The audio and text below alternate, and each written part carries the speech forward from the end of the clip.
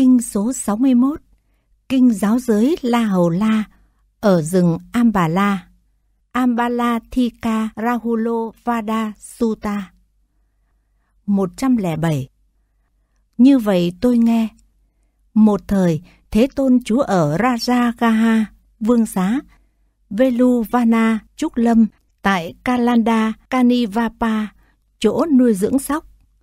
Lúc bấy giờ, tôn giả Rahula, La Hầu La ở tại Ambala Thika. Rồi Thế Tôn vào buổi chiều từ thiền tịnh đứng dậy đi đến Ambala Thika, chỗ tôn giả Rahula ở. Tôn giả Rahula thấy Thế Tôn từ xa đi đến. Sau khi thấy, liền sửa soạn chỗ ngồi và nước rửa chân. Thế Tôn ngồi xuống trên chỗ đã soạn sẵn, và sau khi ngồi, Ngài rửa chân. Tôn giả Rahula đảnh lễ Thế Tôn và ngồi xuống một bên. 108 Rồi Thế Tôn, sau khi để một ít nước còn lại trong chậu nước, bảo tôn giả Rahula. Này Rahula, ông có thấy một ít nước còn lại này trong chậu nước không? Thưa vâng, Bạch Thế Tôn. Cũng ít vậy, này Rahula, là sa môn hạnh của những người nào biết mà nói láo, không có tàm quý. Rồi Thế Tôn, sau khi đổ đi chút ít nước còn lại ấy, rồi bảo Rahula, Này Rahula, ông có thấy chút ít nước còn lại ấy bị đổ đi không? Thưa vâng, Bạch Thế Tôn. Cũng đổ đi vậy. Này Rahula, là sa môn hạnh của những người nào biết mà nói láo, không có tàm quý. Rồi Thế Tôn lật úp chậu nước ấy và bảo tôn giả Rahula, này Rahula, ông có thấy chậu nước bị lật úp ấy không? Thưa vâng, Bạch Thế Tôn. Cũng lật úp vậy. Này Rahula, là sa môn hạnh của những người nào biết mà nói láo, không có tàm quý. Rồi Thế Tôn lật ngửa trở lại chậu nước ấy và bảo tôn giả Rahula, Này Rahula, ông có thấy chậu nước này trống không không? Thưa vâng, Bạch Thế Tôn. Cũng trống không vậy. Này Rahula là sa môn hạnh của những người nào biết mà nói láo, không có tàm quý. Này Rahula, ví như một con voi của vua, có ngà dài như một cán cày, to lớn, khéo luyện, thường có mặt ở chiến trường. Khi lâm trận, con voi này dùng hai chân trước, dùng hai chân sau, dùng phần thân trước, dùng phần thân sau, dùng đầu, dùng tai, dùng ngà, dùng đuôi, nhưng bảo vệ cái vòi.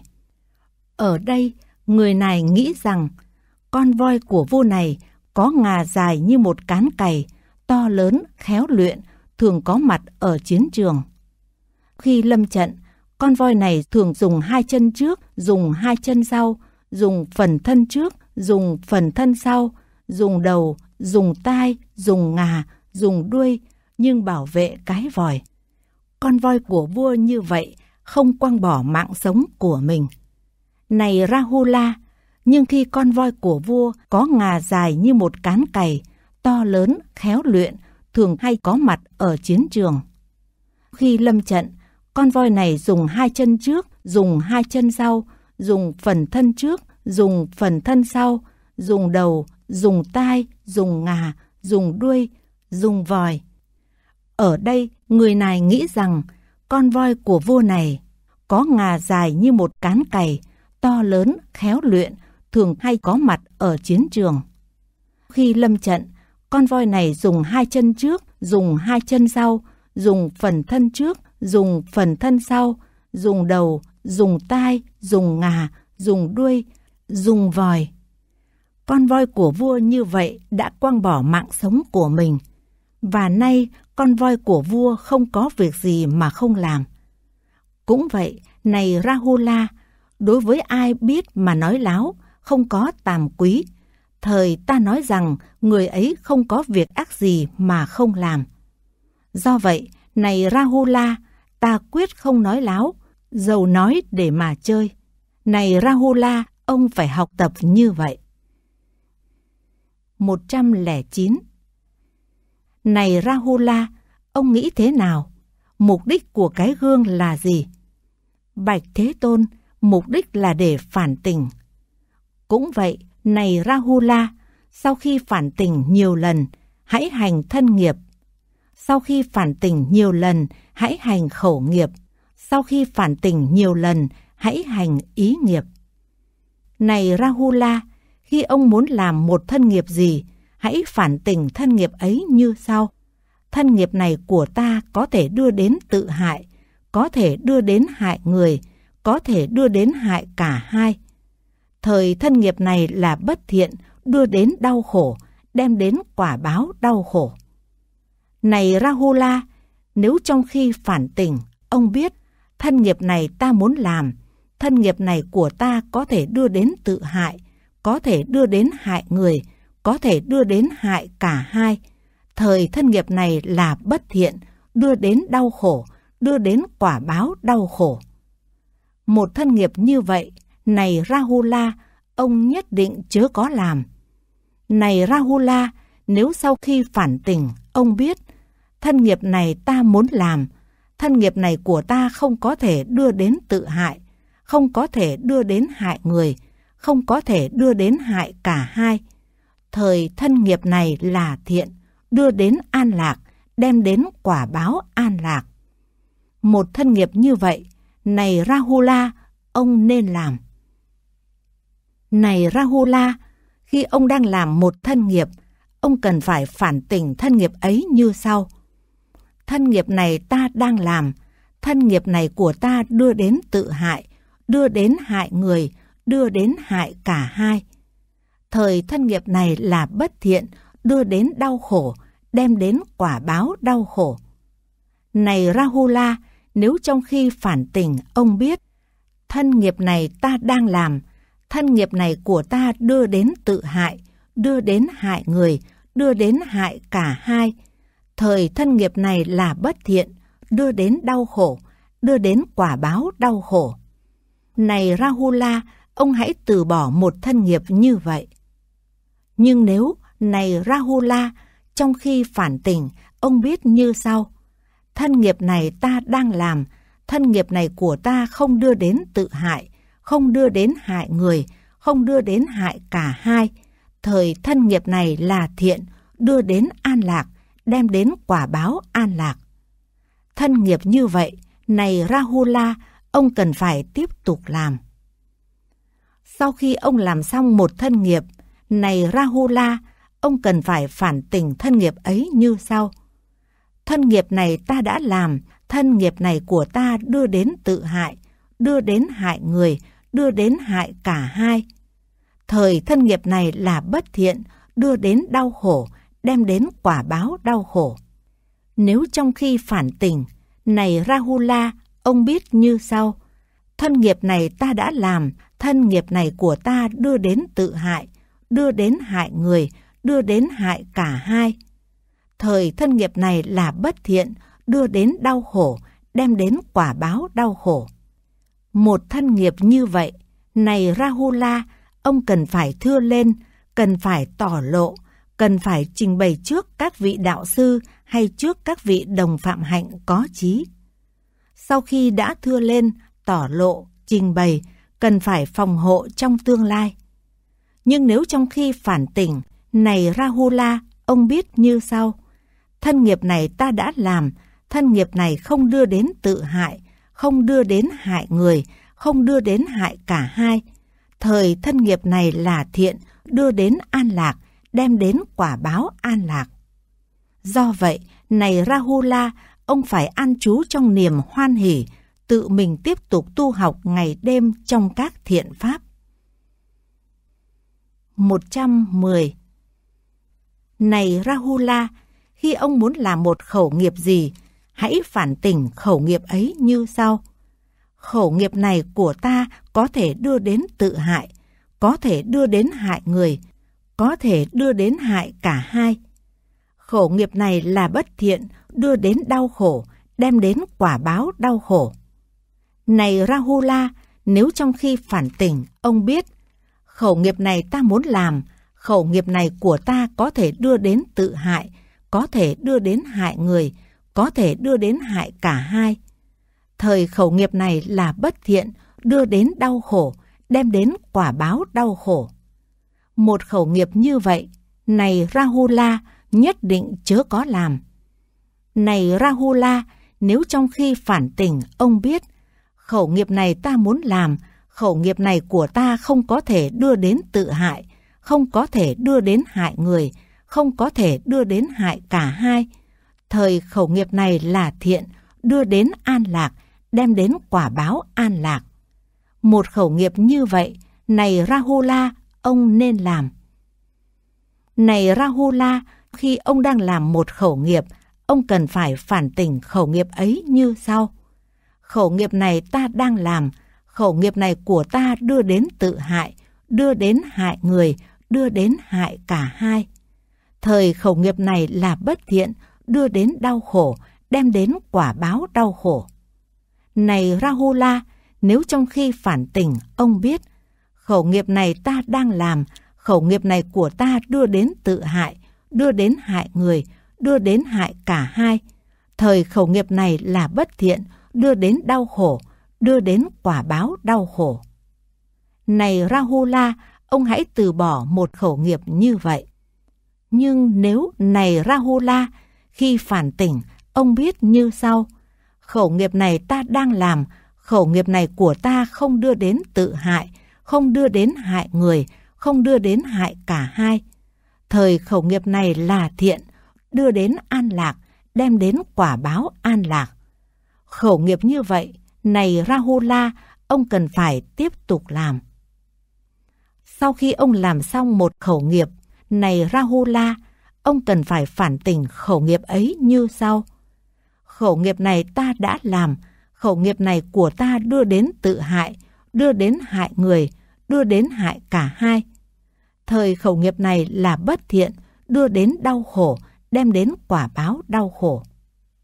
Nếu trong khi phản tỉnh, này Rahula, ông biết như sau, khẩu nghiệp này ta đã làm, khẩu nghiệp này đưa đến tự hại, đưa đến hại người, đưa đến hại cả hai. Khẩu nghiệp này là bất thiện, đưa đến đau khổ, đem đến quả báo đau khổ. Một khẩu nghiệp như vậy, này Rahula, ông cần phải thưa lên, cần phải tỏ lộ, cần phải trình bày trước vị đạo sư hay trước các vị đồng phạm hạnh có trí. Sau khi đã thưa lên, tỏ lộ, trình bày, cần phải phòng hộ trong tương lai. Nếu trong khi phản tỉnh, này Rahula, ông biết như sau. Khẩu nghiệp này ta đã làm, khẩu nghiệp này không đưa đến tự hại, không đưa đến hại người, không đưa đến hại cả hai. Thời khẩu nghiệp này là thiện, đưa đến an lạc, đưa đến quả báo an lạc. Do vậy, này Rahula, ông phải an trú trong niềm hoan hỷ, tự mình tiếp tục tu học ngày đêm trong các thiện pháp. 111. Này Rahula, như ông muốn làm một ý nghiệp gì, hãy phản tỉnh ý nghiệp ấy như sau. Ý nghiệp này của ta có thể đưa đến tự hại, có thể đưa đến hại người, có thể đưa đến hại cả hai. Ý nghiệp này là bất thiện, đưa đến đau khổ, đem đến quả báo đau khổ. Này Rahula, nếu trong khi phản tình ông biết ý nghiệp này ta muốn làm, ý nghiệp này của ta có thể đưa đến tự hại, có thể đưa đến hại người, có thể đưa đến hại cả hai. Thời ý nghiệp này là bất thiện, đưa đến đau khổ, đưa đến quả báo đau khổ. Một ý nghiệp như vậy, này Rahula, ông nhất định chớ có làm. Này Rahula, nếu trong khi phản tỉnh ông biết, ý nghiệp này ta muốn làm, ý nghiệp này của ta không có thể đưa đến tự hại, không có thể đưa đến hại người, không có thể đưa đến hại cả hai. Thời ý nghiệp này là thiện, đưa đến an lạc, đem đến quả báo an lạc. Ý nghiệp như vậy, này Rahula, ông nên làm. Này Rahula, khi ông đang làm một ý nghiệp gì, ông cần phải phản tỉnh ý nghiệp ấy như sau. Ý nghiệp này ta đang làm, ý nghiệp này của ta đưa đến tự hại, đưa đến hại người, đưa đến hại cả hai. Thời ý nghiệp này là bất thiện, đưa đến đau khổ, đưa đến quả báo đau khổ. Này Rahula, nếu trong khi phản tỉnh ông biết, ý nghiệp này ta đang làm, Ý nghiệp này của ta đưa đến tự hại, đưa đến hại người, đưa đến hại cả hai. Thời ý nghiệp này là bất thiện, đưa đến đau khổ, đem lại quả báo đau khổ. Này Rahula, ông hãy từ bỏ một ý nghiệp như vậy. Nhưng nếu, này Rahula, khi phản tình ông biết như sau, ý nghiệp này ta đang làm, ý nghiệp này của ta không đưa đến tự hại, không đưa đến hại người, không đưa đến hại cả hai. Thời ý nghiệp này là thiện, đưa đến an lạc, đem đến quả báo an lạc. Ý nghiệp như vậy, này Rahula, ông phải tiếp tục làm. Sau khi ông làm xong một ý nghiệp, này Rahula, ông cần phải phản tình ý nghiệp ấy như sau. Ý nghiệp này ta đã làm, ý nghiệp này của ta đưa đến tự hại, đưa đến hại người, đưa đến hại cả hai. Thời ý nghiệp này là bất thiện, đưa đến đau khổ, đem đến quả báo đau khổ. Nếu trong khi phản tỉnh, này Rahula, ông biết như sau, ý nghiệp này ta đã làm, ý nghiệp này đưa đến tự hại, đưa đến hại người, đưa đến hại cả hai. Ý nghiệp này là bất thiện, đưa đến đau khổ, đưa đến quả báo đau khổ. Một ý nghiệp như vậy, này Rahula, ông cần phải lo âu, cần phải tàm quý, cần phải nhàm chán. Sau khi lo âu, tàm quý, nhàm chán, cần phải phòng hộ trong tương lai. Còn nếu trong khi phản tỉnh, này Rahula, ông biết, ý nghiệp này ta đã làm, ý nghiệp này không đưa đến tự hại, không đưa đến hại người, không đưa đến hại cả hai. Ý nghiệp này là thiện, đưa đến an lạc, đem đến quả báo an lạc. Do vậy, này Rahula, ông phải an trú trong niềm hoan hỷ, tự mình tiếp tục tu học ngày đêm trong các thiện pháp. 112. Này Rahula, trong thời quá khứ, những sa môn hay bà la môn nào đã tịnh hóa thân nghiệp, đã tịnh hóa khẩu nghiệp, đã tịnh hóa ý nghiệp, tất cả những vị ấy sau khi phản tỉnh như vậy nhiều lần, đã tịnh hóa thân nghiệp. Sau khi phản tỉnh như vậy nhiều lần, đã tịnh hóa khẩu nghiệp. Sau khi phản tỉnh như vậy nhiều lần, đã tịnh hóa ý nghiệp. Này Rahula, trong thời vị lai, những sa môn hay bà la môn nào sẽ tịnh hóa thân nghiệp, sẽ tịnh hóa khẩu nghiệp, sẽ tịnh hóa ý nghiệp. Tất cả những vị ấy sau khi phản tỉnh như vậy nhiều lần, sẽ tịnh hóa thân nghiệp. Sau khi phản tỉnh như vậy nhiều lần, sẽ tịnh hóa khẩu nghiệp. Sau khi phản tỉnh như vậy nhiều lần, sẽ tịnh hóa ý nghiệp. Này Rahula, trong thời hiện tại, những sa môn hay bà la môn nào tịnh hóa thân nghiệp, tịnh hóa khẩu nghiệp, tịnh hóa ý nghiệp.